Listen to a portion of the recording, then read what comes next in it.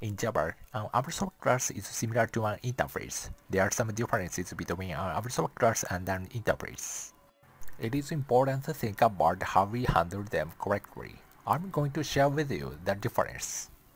We just use an interface as a declaration of methods. We do not implement any code in the methods of an interface.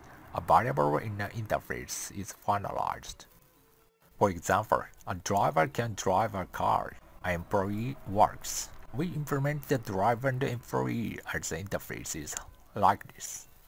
A woman works in the office as an employee. She cannot drive a car. We implement the woman as a Java class using the employee interface.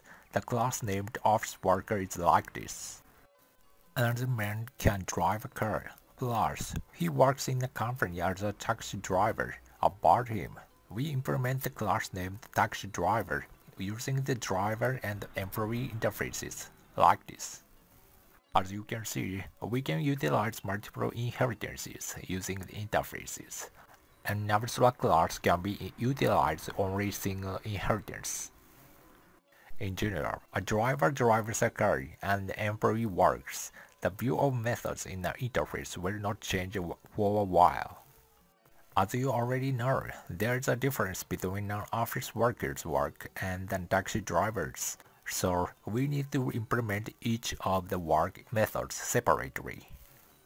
We choose an interface if the function that is implemented could be useful across a wide range of some objects, whereas we choose an abstract class if we want to describe objects that are closely related.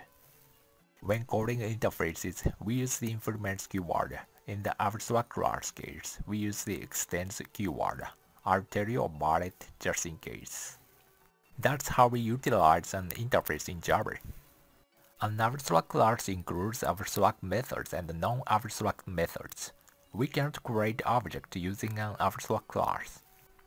If you run a company to create electric funds, you might think of the fund abstract class we want to take advantage of the fund abstract class when developing the Survive fund newly.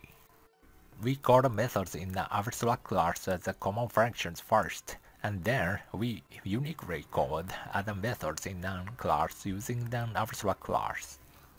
An abstract class can be declared public, protected, and private members. However, all methods in the interface must be public.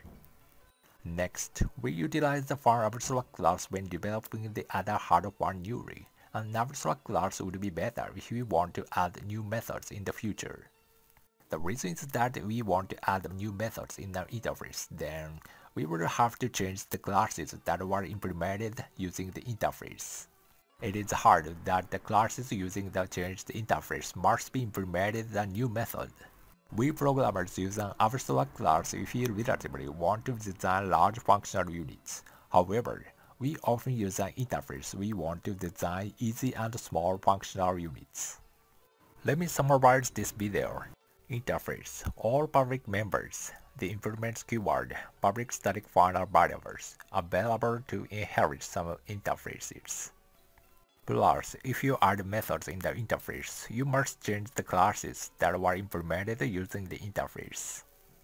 Abstract class, the extends keyword, public, protected, and private members, available to inherit only one abstract class.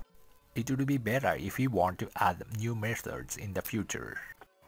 The important thing is how we think of an interface and abstract class. I'm happy if you learned the builds in this video. Enjoy it. Bye for now.